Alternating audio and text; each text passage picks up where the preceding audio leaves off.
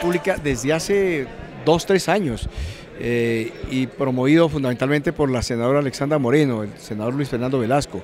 y quien hoy se manifiesta con ustedes, eh, ha promovido todo un debate nacional permanente sobre el tema de la calidad del servicio eh, y suministro de los combustibles en, Colombia.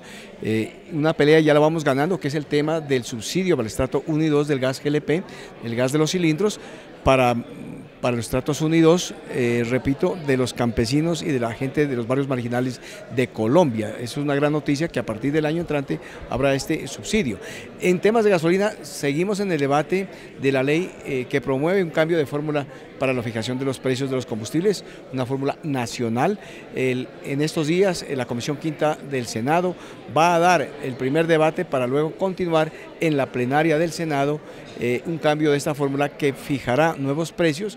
esperamos que haya una reducción de mil a dos mil pesos por galón, eh, como es justo eh, en un país que es productor de los, eh, de los hidrocarburos que refina en las refinerías que son de los colombianos.